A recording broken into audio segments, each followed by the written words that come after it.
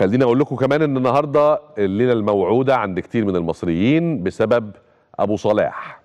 أبو صلاح النهارده هيلعب مباراته في استاد الأولمبيكو في روما.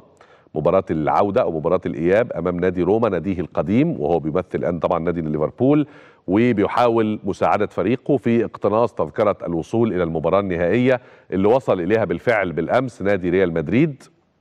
وإن شاء الله إن شاء الله هيكون من نصيب نادي ليفربول ومحمد صلاح النهارده يتألق ويحرز له كام جون حلو كده. والمهم إن هو يساعد فريقه في الوصول للمباراة النهائية وأنا عارف إن المصريين كلهم مستنيين هذه المباراة بفارغ الصبر حبا في صلاح. وسبحان الله ليفربول لو يتمنى لو يحلم بالشعبية اللي عنده في مصر دلوقتي كان دفع فيها مليارات. يعني نادي ليفربول نادي إنجليزي عنده أنصار ومشجعين بالآلاف المؤلفة طبعا من نادي أو من مدينة ليفربول في إنجلترا. وعنده بعض المحبين كده في دول العالم بس يعني قلة. فنادي ليفربول ده باعترافه. نادي ليفربول باعترافه قال لك نحن لم نكن نتخيل الشعبية الجارفة اللي حصلنا عليها كنادي بسبب انضمام محمد صلاح لينا.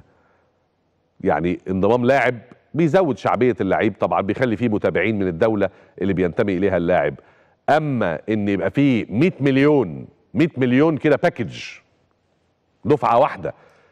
يبقوا بيعشقوا نادي ليفربول وبيدعوا له في كل صلاة دي جديدة لنج.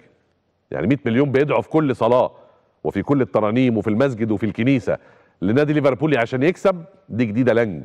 وإن شاء الله هذه الدعوات تصب في محمد صلاح. محمد صلاح هو اللي يهمنا. نادي ليفربول طبعا ربنا يوفقه بس ابننا صلاح هو اللي يهمنا ربنا يكرمه ويوفقه ويوصله لأعلى المراتب. قولوا آمين.